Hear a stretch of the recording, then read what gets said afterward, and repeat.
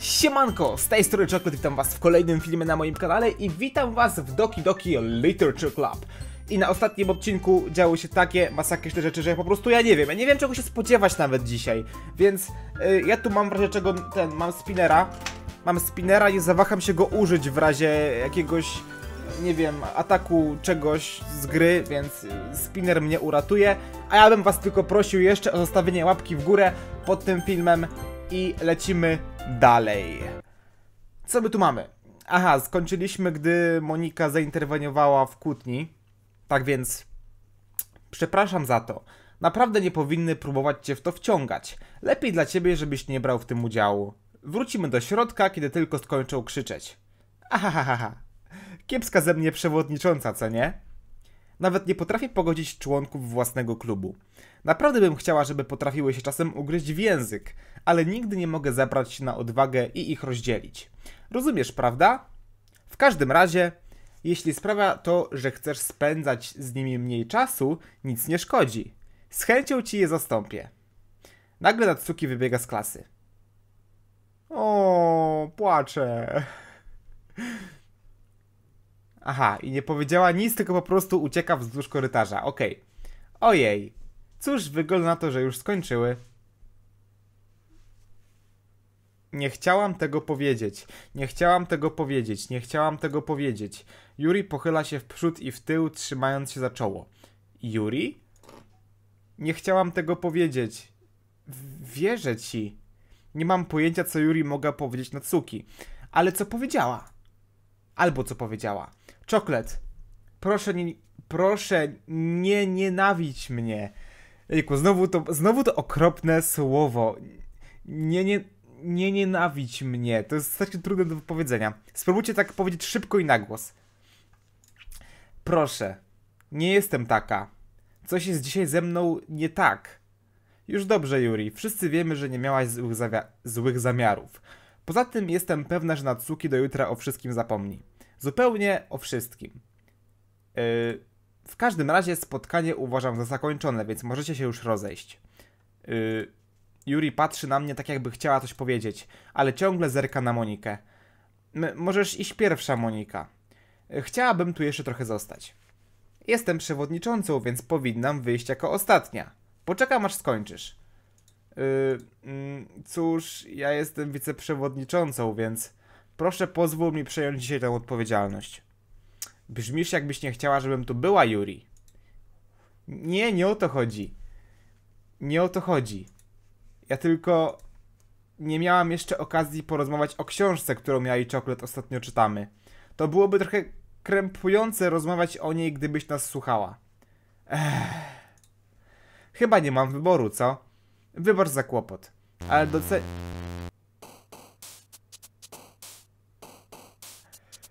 To sobie pogadaliśmy z Yuri na temat książki. Sobie pogadaliśmy, była świetna rozmowa.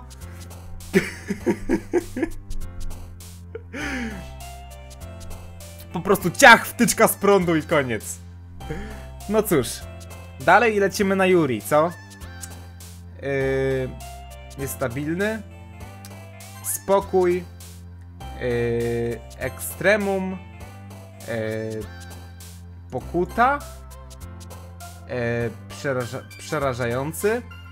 Świetliki. O nie!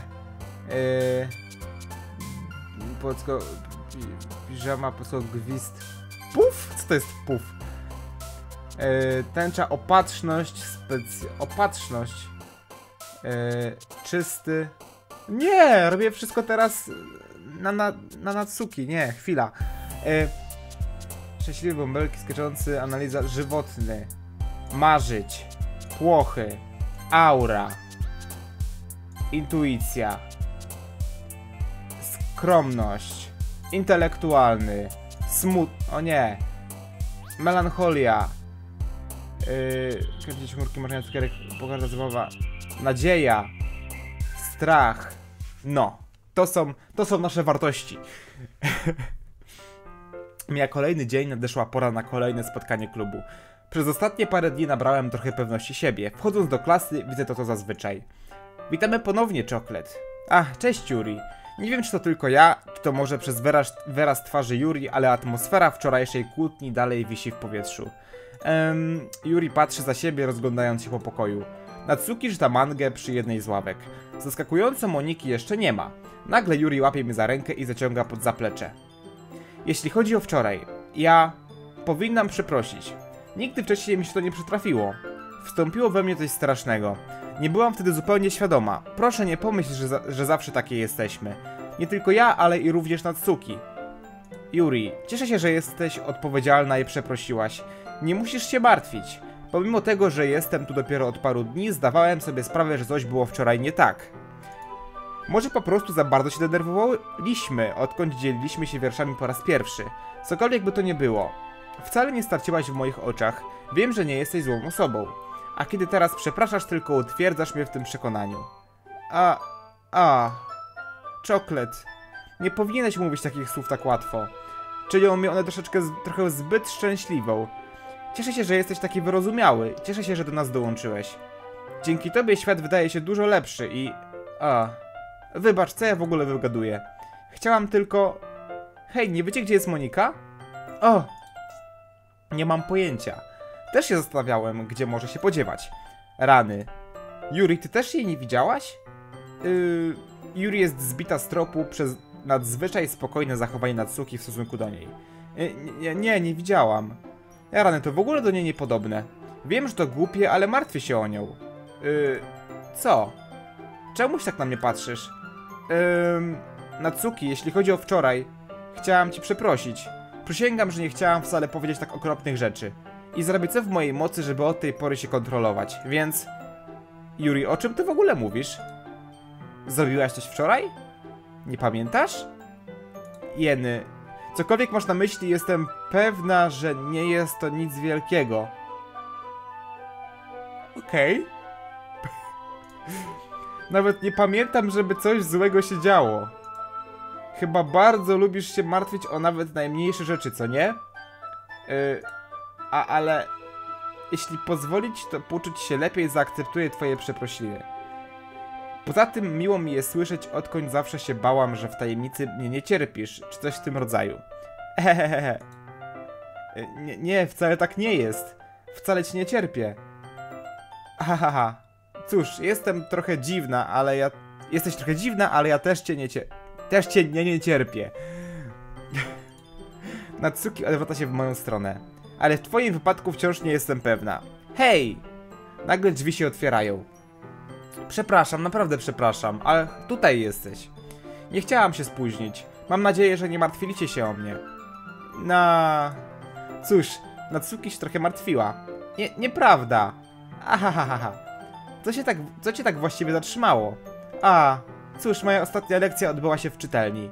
Szczerze mówiąc, straciłam poczucie czasu. Ahahaha. Przecież to nie ma sensu. Usłyszałabyś dzwonek, prawda?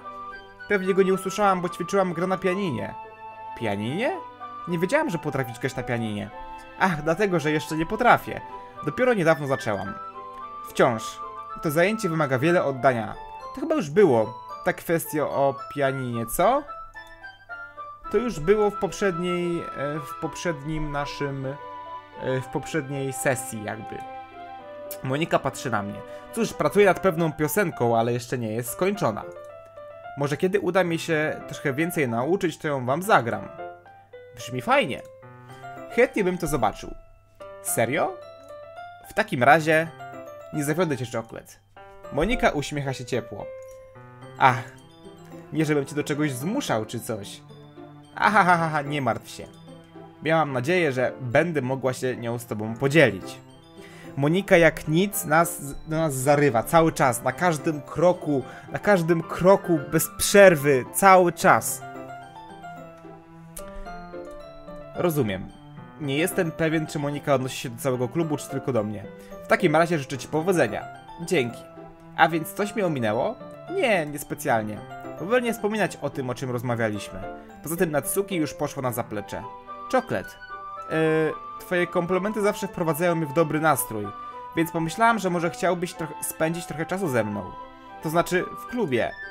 Tak, z pewnością. Miejam nadzieję, że tak będzie. Okej. Okay. O, jaka szczęśliwa, zobaczcie. Możemy zaczynać. Znajdźmy sobie miejsce, gdzie moglibyśmy usiąść. O, jestem zbyt namolna, prawda? Wybacz. Moje serce nie przestaje szaleć z jakiegoś powodu. Nic się nie stało. Szczerze mówiąc, cieszę się widząc, jaka pełna energii jesteś. E, racja. Ale powinnam się trochę uspokoić, inaczej nie, ben nie będę się w stanie skupić na czytaniu. Nie ma pośpiechu. Yuri bierze głęboki wdech, a następnie wyciąga książkę z plecaka. Ale najpierw mam jedną prośbę. Masz coś przeciwko, żebym zaparzyła herbaty? Ani trochę. Dziękuję ci bardzo. Jeśli jest coś, co pomaga mi spędzać miło czas przy czytaniu, to jest to filiżanka ciepłej herbaty. Nie wspominając o tobie. Jak Yuri teraz nagle, zobaczcie jaka taka ym, cały czas. Oj, czoklet, jak ty mnie umilasz, dzionek, jaki ty jesteś super, ojejku, jak ja uwielbiam spędzać z tobą czas. Podążam za nią i widzę, jak podnosi dzbanek z półki, taki z filtrem. Czy mógłbyś to przez chwilę podtrzymać? Pewnie. Yuri podaje mi dzbanek i wyciąga elektryczny czajnik. Podłączę to przy biurku nauczyciela i nastawię wodę. Yuri mija mnie i podłącza czajnik. Obserwuję jej ruchy. To już było chyba, to wszystko. Ja, Yuri, jaka ładna, fajnie, super. Podaj mi dzbanek, dziękuję, za chwilę wrócę. Ach, przejdę się z tobą. Nie, nie trzeba, zaczekaj tutaj. Nie zajmie mi to długo. Trzymając dzbanek, Yuri pośpiesznie wychodzi z klasy. A, czy Yuri znowu cię zostawiła? Nie, tym razem jest inaczej, poszła tylko nalać wody do dzbanka. O, okej. Sorki za nieporozumienie. Mija 10 minut. Yuri powiedziała, że nie zajmie jej to długo. Czy to się zatrzymuje? Nudzi mi się, więc idę jej poszukać. Spójrzmy. Najbardziej logicznym miejscem, do którego mogła pójść Yuri, jest najbliższy wodopój. Idę wzdłuż korytarza. Ha, ha. Ha, ha. Co to za dźwięk? Dochodzi z za rogu. Brzmi jak oddech. Boję, zaczynam się bać klikać dalej. Szybki wdech, jakby powietrze było wsysane przez zaciśnięte zęby. Czy ktoś tam cierpi? Czy ktoś tam cierpi? Docieram do zakrętu, żeby zobaczyć, co się dzieje. Yuri?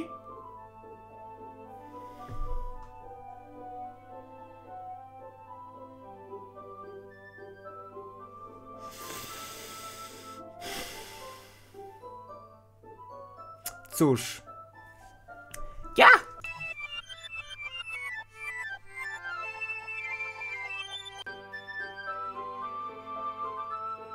Wróciłam.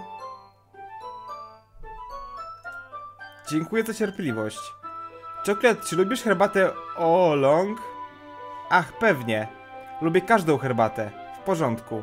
Yuri nastawia temperaturę w czajniku na 200 stopni.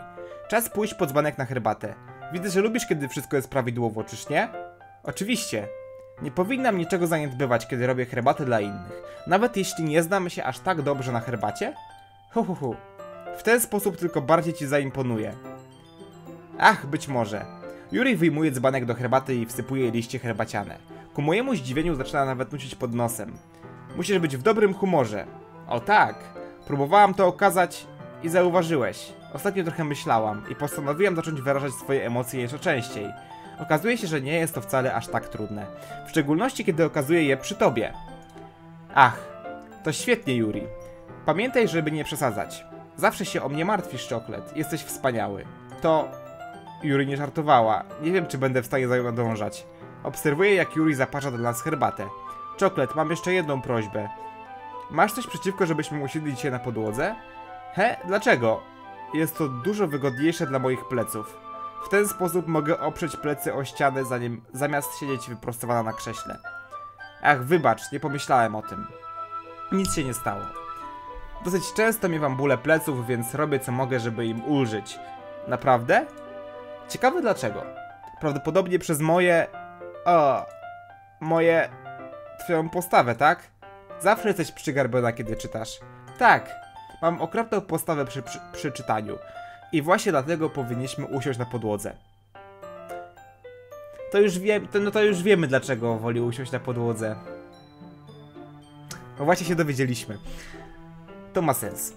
Pójdę po książkę. Wyjmuję książkę z plecaka. Ach, mam ze sobą trochę czekolady. To mała paczka czekoladowych cukierków. Wezmę je, na pewno będą świetnie się zgrywać z herbatą.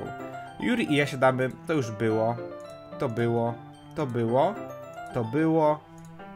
To wszystko było. To wszystko było.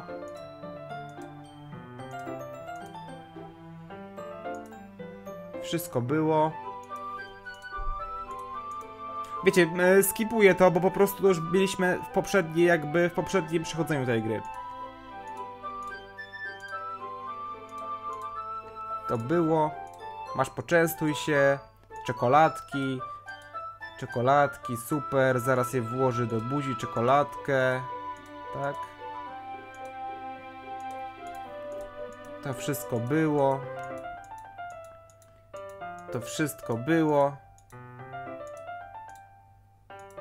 Było. No dalej. Dalej, dalej. Czy, czy ja właśnie, Juri patrzy na mnie, to tak. Eee, czoklet, przepraszam. Chyba nie powinienem był tego robić. A. Juri zaczyna ciężko oddychać. Muzyka się wyłączyła.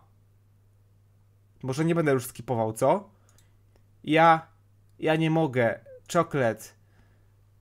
Nagle Juri łapie mnie za rękę i podnosi mnie na nogi. Przewracam swoją filiżankę. Czoklet. Moje serce. Moje serce nie przestaje szaleć, czoklet. Nie mogę się uspokoić. Nie mogę się już na niczym skupić. Czy czujesz to, czoklet? Juri nagle przyciska moją rękę do swojej piersi. Dlaczego to się dzieje? Czuję się, jakbym traciła głowę. Nie mogę tego powstrzymać. Sprawia to, że nie chcę nawet czytać. Chcę tylko patrzeć na ciebie. Te... Patrz na te oczy. O matko, ona rusza tymi oczami jeszcze. Aha. Aha. Ha. Em, czas podzielić się wierszami.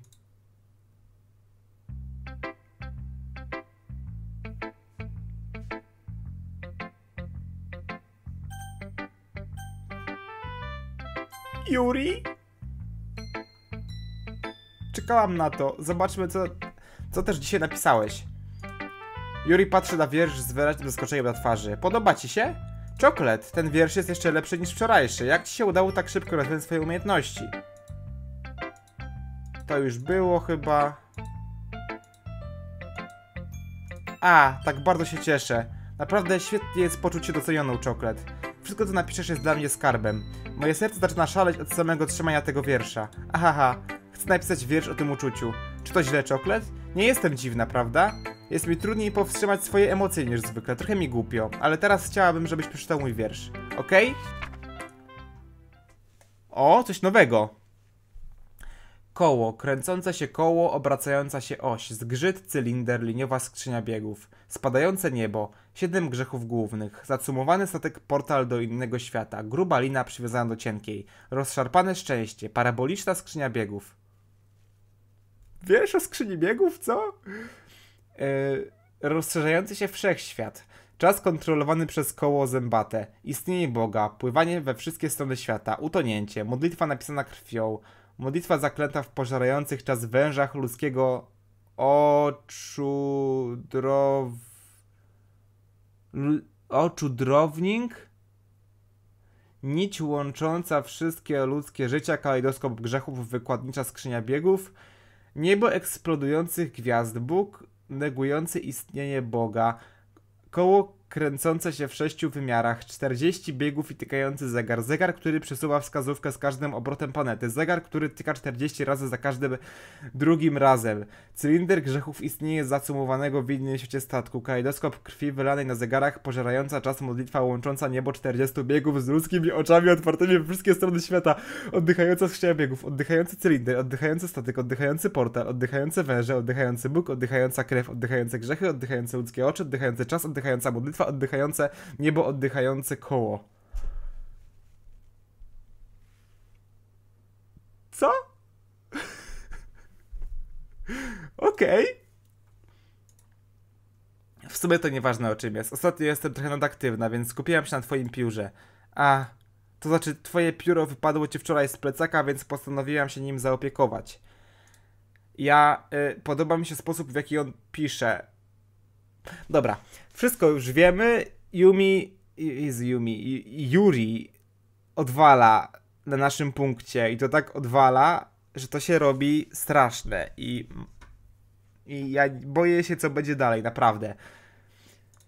A więc napisałam nim ten wiersz, a teraz go dotykasz. Ahahaha, wszystko ze mną w porządku. Co ja właśnie... Y, możemy się... możemy udać, że ta rozmowa nie miała miejsca? Możesz zatrzymać ten wiersz. Okej. Okay. Natsuki? Yy, ta, tak jak myślałam. Czekajcie, w ogóle sprawdzę, czy tutaj nic się nie pojawia. Zostawię sobie folder z grą tutaj. O, dobra, nieważne. E, tak jak myślałam, Czoklet, weź przestań. Nie jestem głupia. Wiem, jak dużo czasu spędzasz z Yuri. Widać, że bardziej zależy ci na zaimponowaniu jej niż na poprawieniu swoich umiejętności pisarskich. Powiem szczerze, to jest żałosne. Dlaczego w ogóle jesteś w tym klubie Czoklet? Serio. Myślałam, że nowy członek klubu pomoże nam nieco lepiej się zżyć. Nie, że jeszcze bardziej nas to oddali. Dzielenie się wierszami jest głupie. Wiesz, nie jestem dzisiaj w nastroju i nie chcę mi się z tobą gadać. Idź sobie. Okej. Okay. Monika. Czoklet, chyba zobaczyłeś coś, czego nie powinieneś był zobaczyć. Nie chciałam ci o tym mówić, ale wygląda na to, że nie mam wyboru. Twoje spędzanie czasu z Yuri zaczyna robić się trochę niebezpieczne. Nie wiem dlaczego, ale bardzo łatwo się ekscytuje, kiedy jest przy tobie. Co samo w sobie nie powinno być problemem, ale kiedy Yuri za bardzo się ekscytuje, szuka sobie jakiegoś odosobnionego miejsca, żeby ciąć się kieszonkowym nożem. Czy to nie jest pokręcone? Codziennie przynosi do szkoły inny nóż, zupełnie jakby miała jakąś kolekcję czy coś. Wiesz, na pewno nie dlatego, że ma depresję, ani nic w tym rodzaju. Myślę, że bardzo lubi to robić. Może nawet odnajduje w tym seksualne podniecenie. E, chodzi mi o to, że za bardzo ją ekscytujesz. Nie mówię, że to twoja wina, ale myślę, że powinieneś o tym wiedzieć. Moim zdaniem nie powinieneś się do niej zbliżać, tak będzie dla niej najlepiej. A skoro już przy tym jesteśmy, nie wstydź się spędzać czasu ze mną. Mówiąc szczerze, ja przynajmniej mam po kolei w głowie i wiem jak traktować członków swojego klubu. Ale tak czy siak, chcesz teraz zobaczyć co ja napisałam? Podoba mi się jak wyszło, więc myślę, że tobie też się spodoba. Zapisz mnie. Kolory nie. Jasne pękę kory. Jaskra... Aha. Jaskrawe, rozszerzające, przeszywające czerwień, zieleń, błękit, niekończąca kokofonia, nic nieznaczącego hałasu. Hałas nie przestaje okrutne, zgrzytliwe fale dźwiękowe, piszczące, szurające, przeszywające, syk, pisk, huk. Jak zabawa tablicą na ostrzu, jak zabawa nożem na oddychającej piersi. Nieskończony poemat nic znaczącego, usuń ją.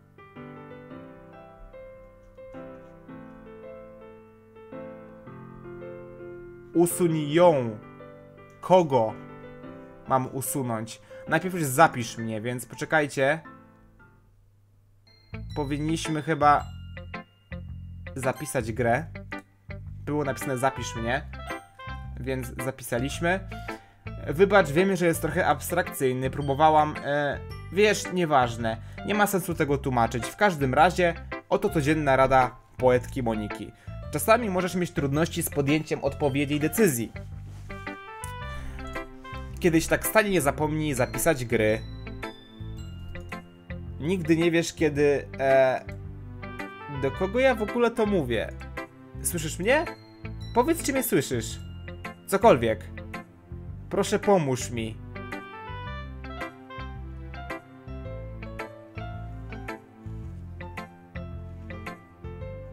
Okej. Okay. To była moja rada na dziś. Dzięki za jej wysłuchanie. Odblokowałeś specjalny wiersz, czy chcesz go przeczytać? Jasne. Eee... Okej. Okay. fajny wiersz. Dobra wszyscy, wszyscy skończyli dzielić się wierszami, musimy coś załatwić. Yy, więc jeśli moglibyście zająć miejsca z przodu klasy. Chodzi o festiwal? Cóż, tak jakby. Ugh, naprawdę musimy coś robić na festiwal? I tak nie damy rady zrobić niczego dobrego w przeciągu paru dni. Tylko się wszyscy ośmieszymy zamiast zdobywać nowych członków. Też tak sądzę. Nie jestem dobra w przygotowaniach na ostatnią chwilę. Nie martwcie się tak, zrobimy coś prostego, ok? Spójrzcie. Wiem, że wszyscy są trochę żywotni odkąd czoklet do nas dołączył i odkąd zaczęliśmy dzielić się wierszami, ale to nie jest dobry moment na narzekanie. Przypominam, że mamy tylko czterech członków, a festiwal jest naszą jedyną nadzieją na znalezienie kolejnych, wiecie? A po co nam w ogóle kolejni członkowie?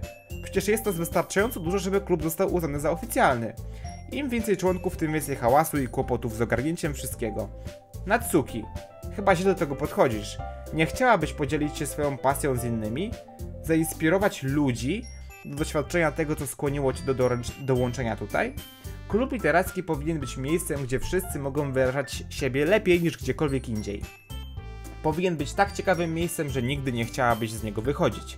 Wiem, że właśnie tym jest dla ciebie. Wiem, że jest tym dla nas wszystkich. Właśnie dlatego powinniśmy wszyscy razem coś przygotować na festiwal, nawet coś niewielkiego. Prawda, czoklet? Eee, och, weź przestań. Nie powinnaś wykorzystywać tego, że czoklet nie potrafi powiedzieć nie. Posłuchaj, Monika. Naprawdę uważasz, że którekolwiek z nas dołączyło tutaj myśląc o innych ludziach? Zatrzymała się muzyka. Yuri nigdy się nie odzywała, dopóki Czoklet do nas nie dołączył. Jeśli o mnie chodzi, wolę siedzieć tutaj niż w domu, a Czoklet nawet nie interesuje się literaturą. literaturą. I tu nasz cały klub. Wybacz, ale jesteś jedyną osobą, której zależy na znalezieniu nowych członków. Cała reszta woli, żeby wszystko pozostało tak jak teraz. Wiem, że jesteś przewodniczącą i w ogóle, ale powinnaś czasem brać pod uwagę nasze opinie. Yy... Monika wyraźnie nie wie, jak odpowiedzieć na argumenty Natsuki. To nieprawda. Jestem pewna, że Yuri i Chocolate chcą, żeby ktoś jeszcze do nas dołączył. Prawda? Yy, yy, nie wiem, co sądzi Yuri, ale ja w sumie zgadzam się z Natsuki. Gdybym okazał teraz entuzjazm Monice, prawdopodobnie bym skłamał. Wciąż, skoro muszę jakoś uratować sytuację... Yy, nie. Natsuki ma rację, prawda? Ten klub nie jest niczym więcej, niczym, niczym więcej niż miejscem do spotkań. Dlaczego pomyślałam, że inni będą go widzieli w ten sposób co ja? Ale to nie znaczy, że jesteśmy przeciwko dołączeniu nowych członków ani nic. Czoklet, dlaczego w ogóle dołączyłeś do tego klubu? Czego od niego oczekiwałeś? Cóż, to chyba nie jest coś, do czego powinien być szczery, prawda? Właściwie, jeśli dobrze pamiętam, nie miałeś innego wyjścia niż do nas dołączyć. Monika siada i wpatruje się w swoje biurko. Po co to wszystko? Co jeśli zakładanie klubu było błędem? Zaczynam współczuć Monice. Przestań, Monika, przestań działać na moje emocje, ok? Mam nadzieję, że jesteś z siebie zadowolona, Natsuki. Co? Co ja zrobiłam? Mówiłam prawdę.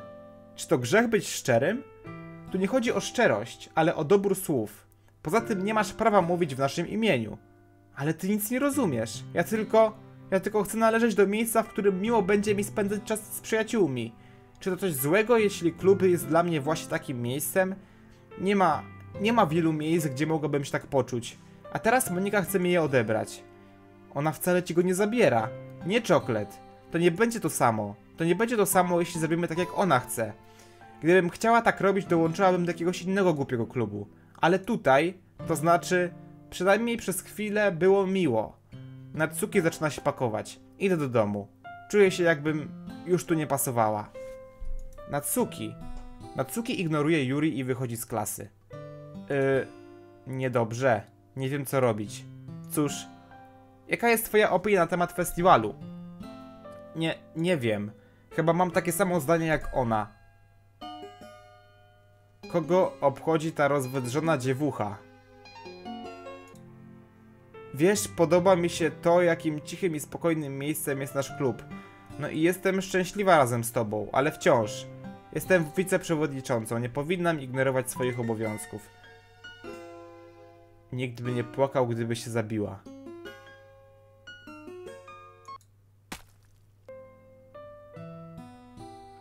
Powinnam starać się, żeby brać pod uwagę opinie klubowiczów i podejmować decyzje dobre do naszego klubu. Ja po... Ja się te- naprawdę się zaczynam... Ja się, ja się naprawdę szczerze tej gry boję. Boję się, co ona tutaj próbuje... Aaaa. Co z tobą, Czoklet? Czego ty oczekujesz od tego klubu? Yuri powtarza to samo pytanie co Monika. Myślę, że muszę odpowiedzieć w sposób pośredni, tak będzie najlepiej. Myślę, że najważniejsze jest, żebyśmy się dogadywali i żebyśmy odnajdywali w klubie to, czego nie odnajdziemy nigdzie indziej.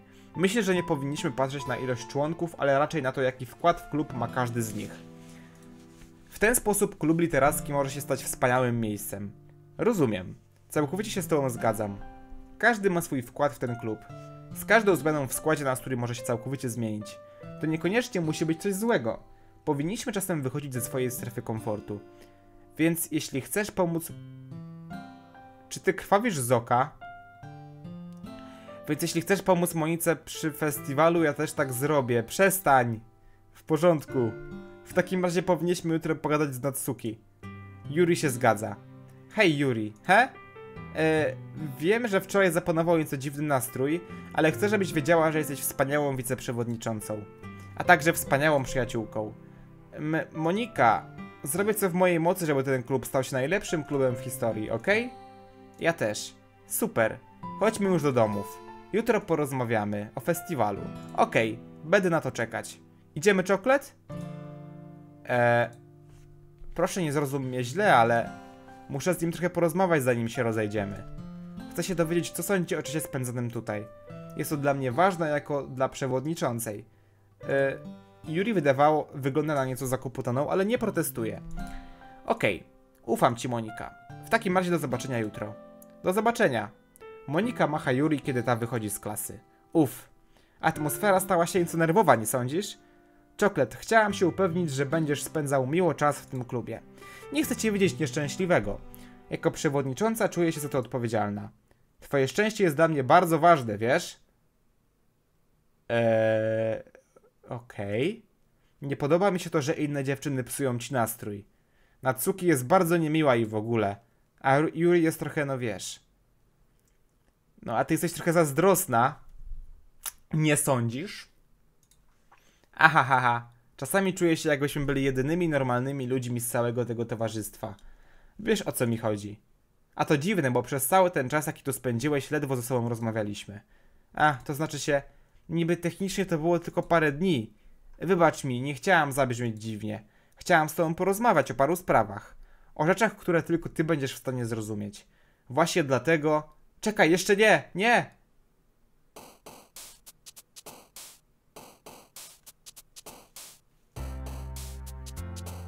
Dobra. To może napiszmy ten wiersz. To było dziwne. Yy, chwila.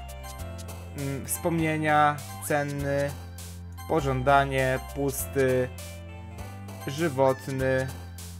Co tu się ze wskaźnikiem stało? Zobaczcie, jest milion sto jedenaście tysięcy sto jedenaście. Yy, skubać, podskok. Same jedynki tutaj się pojawiają, co się dzieje? Promienisty, wodospad, muzyka, beznadzieja, przemyślenia. Ktoś tam podskoczył na dole. Widzieliście to? Na dole, pod mapą. Czekajcie. Yy...